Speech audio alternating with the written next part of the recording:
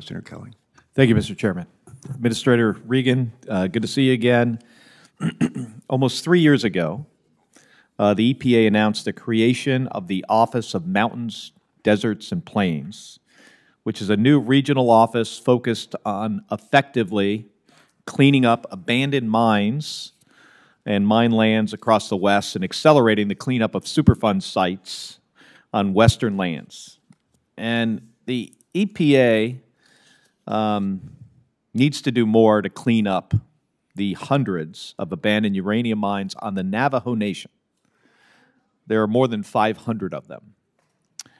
And, you know, tribal leaders, you know, just like tribal leaders, I am concerned that these sites fail to compete well for annual Superfund appropriations funding. And I believe that a properly funded and authorized Office of Mountains, Deserts, and Plains can make meaningful progress on these projects. But Administrator Regan, you know, I, I noticed that the uh, fiscal year 24 EPA budget does not include funding for the Office of Mountains, Deserts, and Plains. Can you explain why that is? Uh, yes, um, and I will echo your sentiments. We absolutely understand the importance of, of this particular office. Um, you know, this particular office receives its funding through the Superfund Emergency Response and Removal and Superfund Remedial Program, uh, which in the in this budget, this FY 2024 budget, um, is proposing the president's proposing to transition to Superfund tax receipts. Uh, so it is definitely built in. It's just built in under the Superfund program.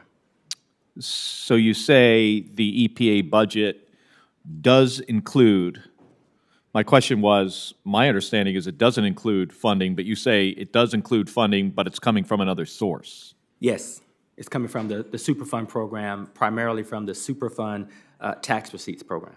And do you have an amount of funding?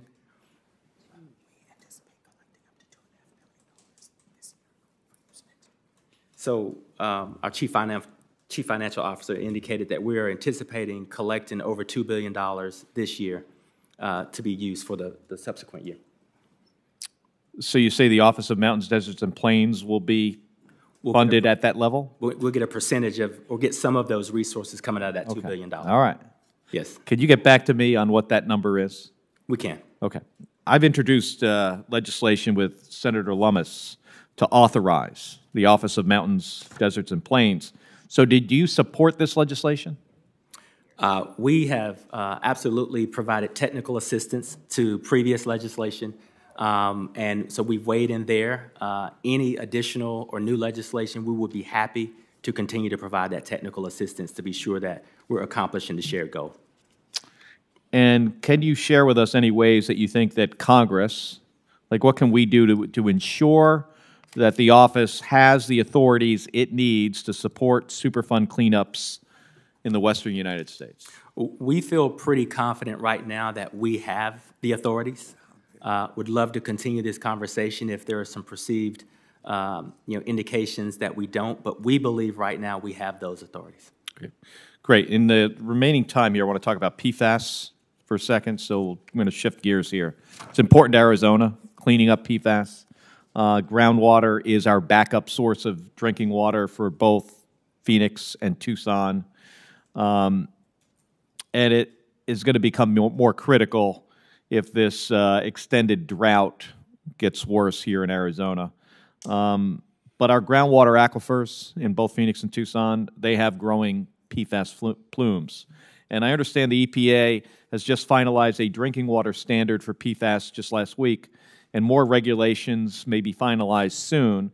So, taken in combination with funding from the infrastructure law, I'm hopeful that these actions can help make a difference for Arizona communities. So, Administrator, um, will the new proposed drinking water standards will that speed up any of the EPA's timelines on releasing bipartisan infrastructure law funds for treating um, contaminants like PFAS?